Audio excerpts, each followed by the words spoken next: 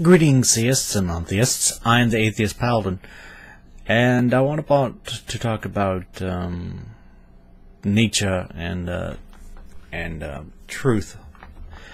And uh, this is sort of like a response to ContraPoints on, you know, postmodernism and relativism and trying to seek the truth. And I think of the most interesting about it is that Nietzsche is sort of considered the father of postmodernism and some of the ideas that he brings up when concerning truth are uh, relevant and should be considered in a way.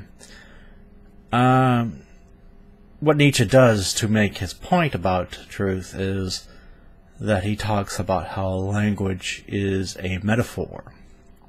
That language is never entirely accurate about reality that it describes. One of the instances that he brings it up is uh, bringing up a leaf, right? You have a leaf, and the word leaf that we use describes the concept. So this thing brings the idea of a leaf. But the problem of of a leaf, there's more than one way. As we can see if you can get a little closer, it's very jagged.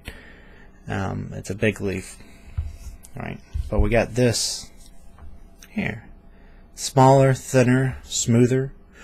Uh, its structure and its fine patterns is a little bit different. But what do we call this? We also call this a leaf. And um, that's the problem which Nietzsche says, that, that it's in language. It never fully describes um, what it's talking about. It's always a metaphor. Um, so we get this idea, okay? In your mind, you see this image. First, it starts out in your mind as an impulse pattern, right? Then it comes to an instruction for my mouth to produce a certain sound. So I say a certain sound, leaf. And then that sound reaches your ears and it's translated by your ears in a certain way and it produces a certain image back in your mind. So we're going through several stages here of transitioning one metaphor into another in order to commute the idea of leaf. And so in this manner, Nietzsche says that even though in seeking this truth and seeking this reality, we actually get farther and farther away from it. You know, concepts and ideas evolve over time. They, they, they evolve after generation after generation.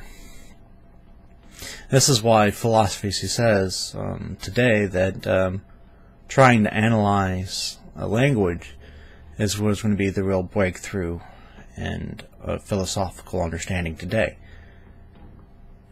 And um, that that's pretty much true because of what Nietzsche says. Because he says that we put a lot of faith, we put a lot of uh, confidence and belief in the language and the accuracy of it, and really is it's just metaphors. It's just metaphors of reality, and that way he says that truth is an illusion. And so, and I tend to agree with that in, in the same sense that truth isn't a thing uh, that exists. Truth is nothing more than saying um, the, the model that we construct about reality in our mind is identical to, or at least very accurate to, reality. But as Nietzsche points out, language changes, and we put a lot of confidence in these metaphors, and we end up getting further away from truth. Now, my personal belief is is that um, I think in recognizing this that we should sort of puts an anchor on it.